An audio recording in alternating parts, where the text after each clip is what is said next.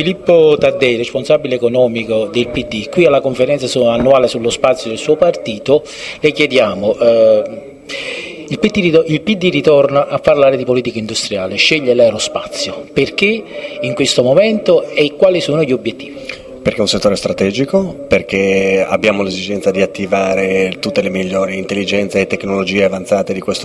paese, che sono disponibili in questo paese, perché se non lo facciamo allora è difficile tenere lavori di qualità qui, ma rischiamo di avere solamente il resto.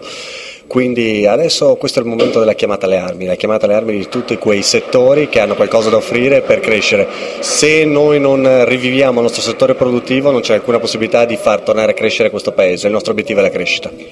Si è detto poco fa durante, la, il, durante, gli interventi che questo è il periodo in cui si decidono le politiche europee per questo settore.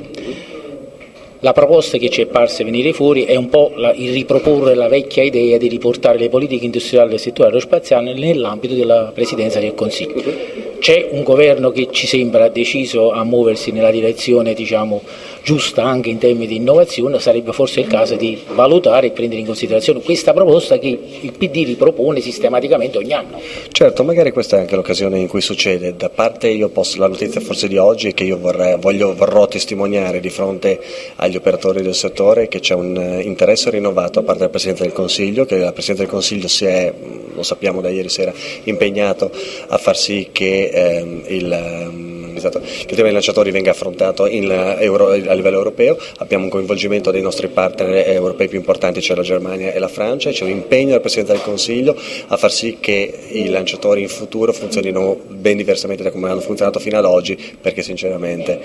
non c'è molto di cui stare con. Negli ultimi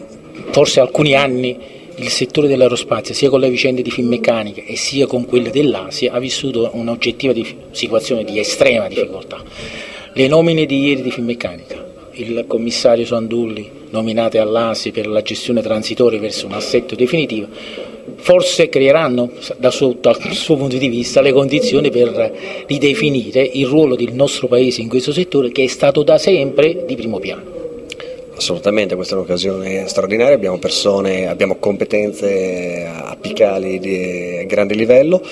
Mm, non so, non so, come dire, è veramente un'occasione straordinaria per il Paese di riprendere la filiera di tutte le cose che valgono e tutte le cose che contano. Quindi stiamo a questo, l'aerospazio è uno di questi.